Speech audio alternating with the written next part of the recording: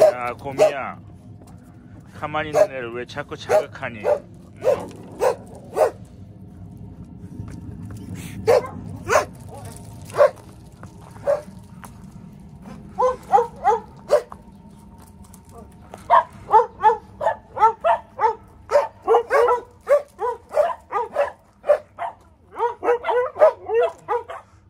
스키야 그렇게 짖는 법을 배워야지 하울링보단 짖어 그래야 개 같지 응?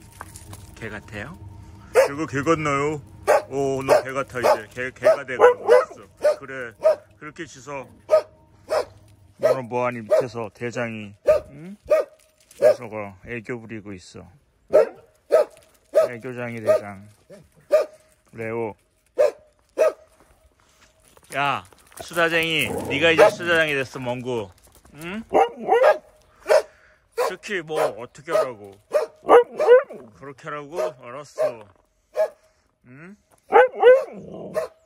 이제 달릴 수 있다고? 50분 이상? 5분밖에 못 달렸다며 너 이제 50분 달릴 수 있어? 응? 자신 있나?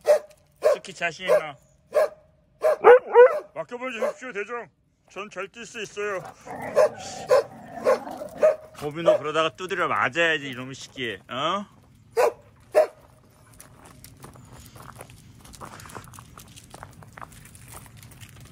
물이 얼었냐? 물 줄게 물 가지고 나야 되겠다